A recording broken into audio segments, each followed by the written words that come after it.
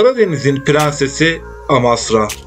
Can Gezikolikler, Amasralı merhum şarkıcı Barış Akarsu'nun dizelerinde dile getirdiği gibi yosun kokan şehir Amasra'ya hoş geldiniz, sefalar getirdiniz.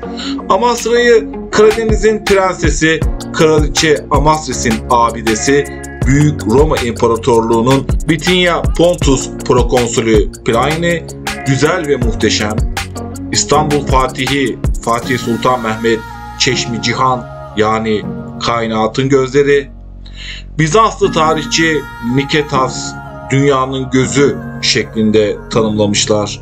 Amasra'yı Latin ozan Catulus'un gemilerin Pontus Amasrisi'nde ıslanan kürekleri dizesinde bulması, 1900'lü yıllarda ise Ernst von der Namer'in doğanın, tarihin ve kültürün kucağına saklanmış bu gizemli ve esrarengiz kasabayı bir Alman efsanesindeki dikenli küçük güle benzetişi veya İsmail Habib Sevük'ün aynı muhteşem güzellikteki manzara karşısında görsen yazık dersin, görmesen yazık edersin dizelerini şehrin manzarasına dalıp yorumlamaksa kuşkusuz ki tarihin buram buram gizemli serüvenler kokan havasını hissedebilmektir. Güzeller güzeli Amasris. Evet Çangizikolikler, sizlere Amasra şehrimize ismini veren güzeller güzeli Amasris'ten bahsetmek istiyorum. Roma İmparatorluğu döneminde Paflagonya kıyısındaki bir yarımadada yer alan kent Sesamos adıyla Heraklia'ya yani günümüzdeki ismiyle Karadeniz Ereğlisi'ne bağlı bir kasabaymış. Hikayemiz M.Ö. 4. yüzyıl civarlarında başlıyor. Pers hanedanlığının son kralı 3. Darius'un kardeşi Oksakyirs'in kızı olan Amasris, Herakliya satrabı yani valisi Dinosos ile evlenince ki Türk devletlerinde de olduğu gibi o dönemde de hanedanlıklar arasında evlilikler devletlerin daha da büyümesi ve barış içerisinde yaşanması için sıklıkla tercih edilirmiş. Pılını pırtısını toplayıp antik dünyanın Paflagonya'sına yani bugünkü Batı Karadeniz'e gelir. Herakliye satrapı yani valisi Dinosos karısına Sesamos adıyla İyon kolonileri tarafından kurulan ve günümüzde Amasra adını alacak şehrin yönetimini verir.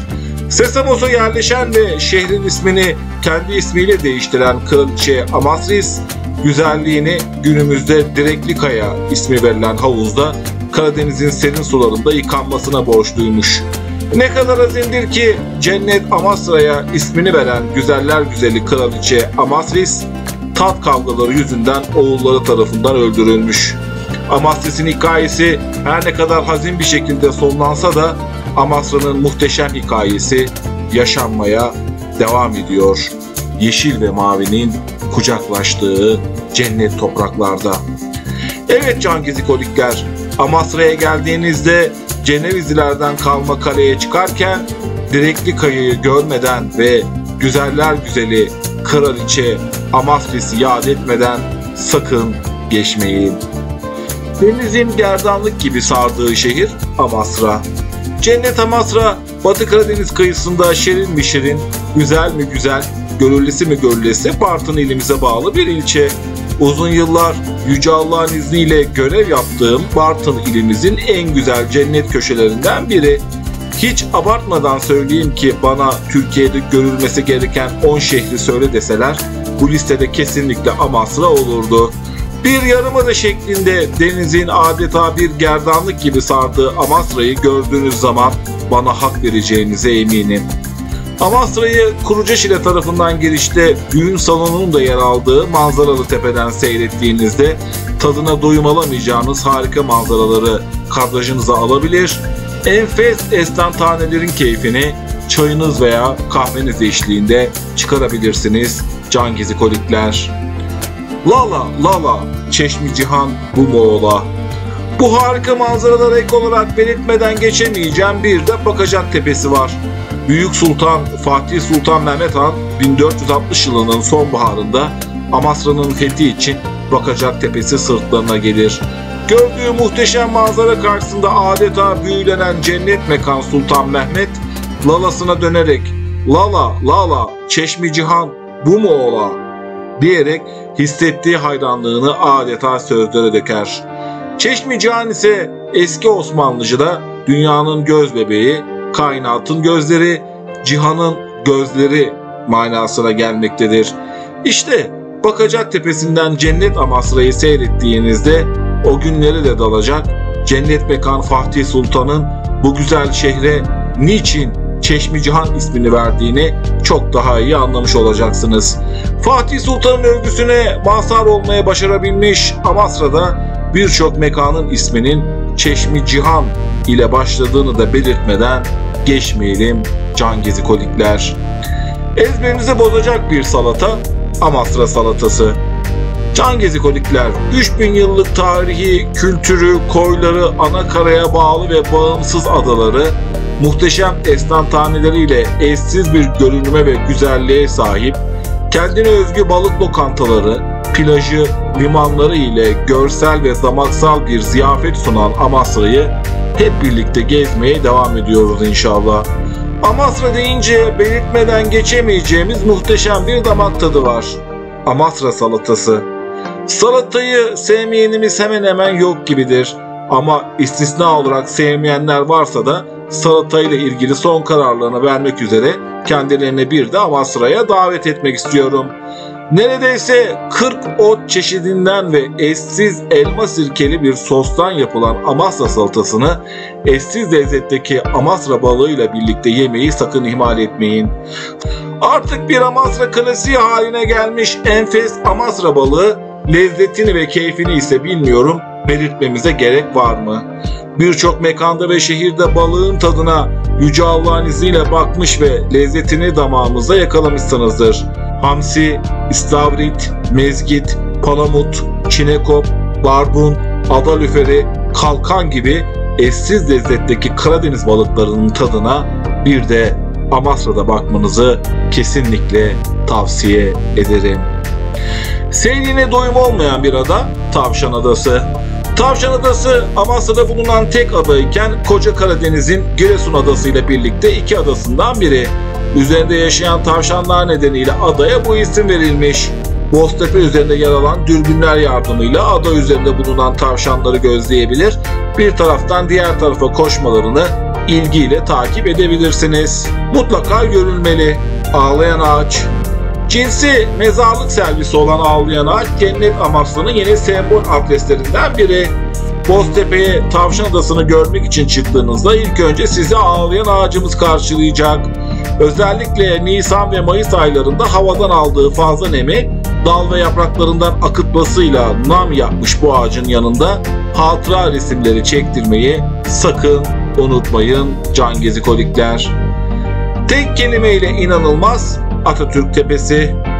Tıpkı bozuk paralardaki Atatürk silüetine benzeyen Atatürk Tepesi Tavşan Adası'na nazır karşımızda duruyor. Cebinizdeki bozuk parayı çıkarın ve bozuk paradaki Atatürk silüeti ile birlikte bu tepeye bakın. İnanılmaz benzerliği görünce hayretler içerisinde kalacak Cumhuriyetimizin kurucusu Ulu Önder Mustafa Kemal Atatürk'ü yad etmiş olacaksınız. Mest olacaksınız Kemere Köprüsü. Yapımı Roma İmparatorluğu'na kadar uzanan Kemere Köprüsü Amasya'nın sembol mekanlarından biri. Başrollerini Türkan Şoray ve Kadir İnanır'ın oynadığı Gönderilmemiş Mektuplar isimli sinemanın da çekim mekanlarından biri olan tarihi Kemere Köprüsü Amasra'da mutlaka görülmeli. Dolayısıyla Boztepe ile Kum Mahallesi'ne birbirine bağlayan tarihi köprüde mutlaka fotoğraf molası verin ve eşsiz manzaraların doyasıya keyfine çıkarın can gezikolikler. Fatih Cuma'yı burada kıldı Fatih Camisi. Çeşmi Cihan Amasya'nın Cihan Şumul Osmanlı Padişahı Fatih Sultan Mehmet tarafından 1460 senesinde Yüce Allah'ın izni ve inayetiyle fethedilmesinin ardından ilk cuma namazı şapelden camiye çevrilen Fatih Camisi'nde kılınmış. Rivayetlere göre ilk hutbeyi Fatih Sultan Mehmet bu camide minberde kılıç kuşanarak okumuş. Bu artık şehrin otoritesinin Osmanlı'ya geçtiğine, şehrin teslim alındığına dair bir nişane anlamına geliyormuş. Bundan dolayı her cuma namazında hutbe yine imam tarafından kılıç kuşanarak okunmaya devam ediliyor. Cuma günü Amasra'da olursanız bu muhteşem estantaneleri sakın kaçırmayın ve tarihte zaman yolculuğuna çıkın. Geçmişe yolculuk Ceneviz Kalesi. Amasra'mızın sembol mekanlarından biri de Ceneviz Kalesi. Büyük limanın sırtına dayadığı Ceneviz Kalesi ilk olarak Roma İmparatorluğu devrinde inşa edilmiş ve Bizanslılar, Cenevizliler ve Osmanlı dönemlerinde restore edilmiş. Ceneviz Kalesi Amasra şehir merkezinde ve mutlaka görülmesi gereken mekanlardan biri. Kaleye merdivenlerle büyük limandan rahatlıkla çıkabilir, Sormagir ve Zindan Kale bölümlerini gezebilirsiniz. Harikulade Amasra ve deniz manzaralarını yakalayabilir, doyasıya muhteşem manzaraların ve huzurun tadını çıkarabilirsiniz.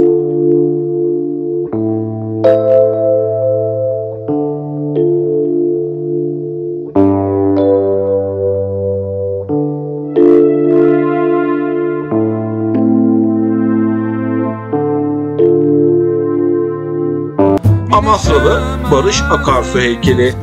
Ülkemizin popüler rock şarkıcılarından ve dizi oyuncularından Barış Akarsu'yu elin bir trafik kazası sonucunda 4 Temmuz 2007 tarihinde kaybettik. Amasra doğumlu ünlü sanatçımız adına Amasra Belediyesi Küçük Liman tarafına sanatçının heykelini ve motosikletini monte etmiş. Amasra gezinizde ziyaret etmeyi ve Fatiha okumayı sakın unutmayın. Gerdanlık limanlar, büyük ve küçük liman. Can gezikolikler, Amasra'da birbirinden güzel manzaralar sahip iki adet liman bulunmaktadır. Büyük liman ve küçük liman. Büyük limanda yer alan teknelere binerek Amasra'nın muhteşem deniz kokusunu buram buram doyasıya ciğerlerinize çekmenizi, sahile vuran dalgaların büyülü sesini bir de tekne üzerinden kulak vermenizi, Amasra'nın büyülü güzelliğini, yemyeşil dağlarını bir de deniz üzerinden görmenizi çok isterim. Küçük limanda ise daha çok çay bahçeleri, kafeler ve dinlenme alanları bulunmaktadır. Otantik bir pazar, çekiciler çarşısı. Amasra şehir merkezinde madenci anıtının olduğu mevkiden Büyük Liman istikametinden Küçük Liman'a geçiş noktasındaki Çekiciler Çarşısı Amasra'ya özgü el işçiliğiyle ahşaptan yapılan malzemelerin sergilendiği otantik bir çarşıdır. Dar ve uzun bir caddesi bulunan çarşıda beğenip de satın almaya isteyeceğiniz o kadar çok şey var ki ahşap işçiliğine dair hemen her şeyi bulabileceğiniz çarşıya mutlaka uğrayın. Hem kendinizi hem de sevdiklerinizi sevindirmeyi sakın unutmayın can gizikolikler. Amasra'ya ulaşım. Amasra'nın bağlı bulunduğu Bartın il merkezine uzaklığı yaklaşık 20 kilometre olup seyahat süresi ortalama yarım saattir. Amasra'nın başkent Ankara'ya uzaklığı D750 ve Anadolu Otoyolu üzerinden yaklaşık 310 kilometre olup seyahat süresi ortalama 4 saattir. Çeşmicihan Amasra'nın İzmir'e ise uzaklığı Anadolu Otoyolu üzerinden yaklaşık 815 kilometre olup seyahat süresi ortalama 9 saattir.